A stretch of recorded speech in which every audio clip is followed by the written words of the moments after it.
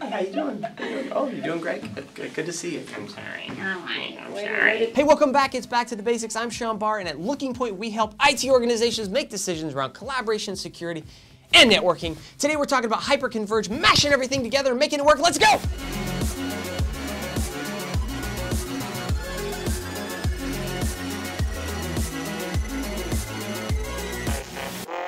All right, so we're back and we are talking hyperconverged. Before we jump into hyperconverged and why you'd want it and how I should consider it, let's talk a little bit about how we got here. The idea behind converge is basically taking two things and having them leverage one. So an example would be when we had traditional storage networks like Fibre Channel and we moved those to FCOE or iSCSI. So we're basically leveraging the same network infrastructure to support both data communications to the SAN and data communications to the network. That's an example of converged.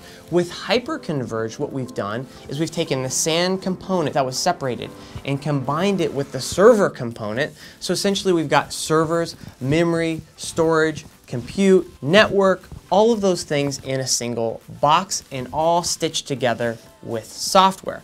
That is hyperconverged. So if you're considering moving to hyperconverged, here are some of the things to think about. So you've got some additional storage capability or storage component, a SAN in your environment. You've got your compute infrastructure. You've got your hypervisor. All of those things work today and are pretty efficient at doing what they do. So when you move to hyperconverged, essentially what you're doing is you're taking the storage node and you're putting it with your compute infrastructure.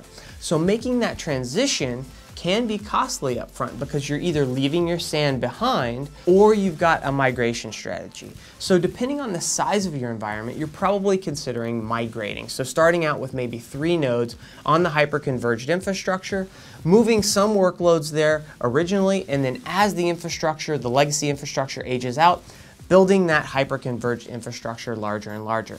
Now the benefits of hyperconverged are essentially you have a single point of management depending on what architecture you use, but it's getting that management down to one point of management for your entire infrastructure. The trade-offs are really cost. So hyperconverged can be a lot more expensive than traditional infrastructure because you're paying for the hyperconverged software.